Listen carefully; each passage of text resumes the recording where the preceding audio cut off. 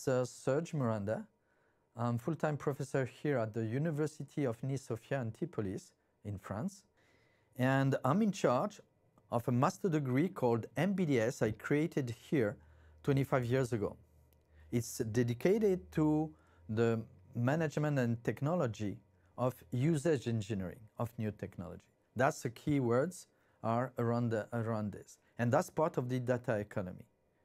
And we created in strong partnership with Oracle. And today, we're starting an online version of MBDS called eMBDS, again in close partnership with Oracle, in order to address University of the Future. It will be the first master fully accredited in Europe in computer science. So we enter the data economy. And the new word for computer science is data science, science of data. We could have said service science some years ago. Now we definitely enter this area of the fourth paradigm as quoted by Jim Gray concerning the data science, the science of data. And if we consider computer science as a science, that means we have three pillars. The first one is concepts.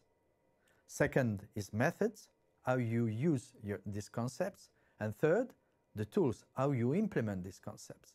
And the partnership with Oracle concerns the latter point. That means the tools and the concepts and methods are provided by the academy. So concerning the online version of MBDS, we have um, this partnership with 50% of the course, six selected by university professors from the curriculum and six based on the tools selected within Oracle University courses. MBDS curriculum is based upon three pillars.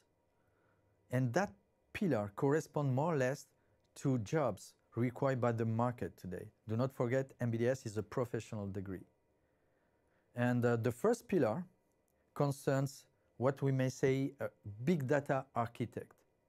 That includes, like doors, database administration. That includes what sometimes we call data engineer, the engineering of the data coming from different worlds, structured data, unstructured data, semi-structured data, to build up what is called a data lake.